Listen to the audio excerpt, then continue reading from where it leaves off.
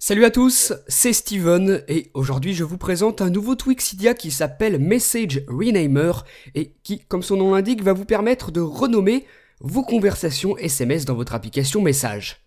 Le fonctionnement il est donc tout simple, en maintenant longuement une conversation SMS vous avez trois nouvelles options qui apparaissent ici.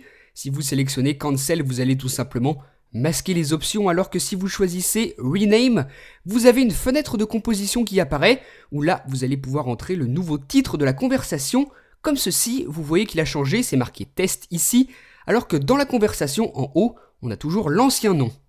Donc voilà comment ça fonctionne, et si jamais vous avez envie de revenir au nom initial, vous appuyez tout simplement sur Reset comme ceci.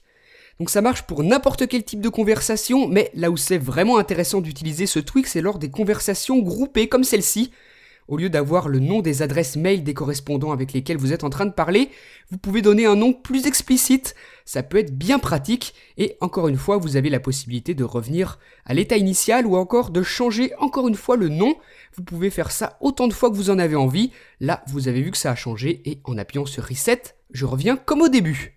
Donc voilà le principe de fonctionnement de ce tweak, vous permettre de renommer vos conversations SMS, simples ou multiples. Il s'appelle Message Renamer, il fonctionne aussi avec l'application Byte SMS. Vous avez ici des informations sur le fonctionnement. Donc le tweak Message Renamer, vous le retrouvez gratuitement sur Cydia, sur la source de Big Boss. Donc un tweak vraiment pratique, surtout pour les conversations groupées comme je vous le disais tout à l'heure. Donc dites-moi ce que vous en avez pensé dans les commentaires. N'oubliez pas non plus de me suivre sur Facebook et sur Twitter. Et à très bientôt pour une prochaine vidéo. Salut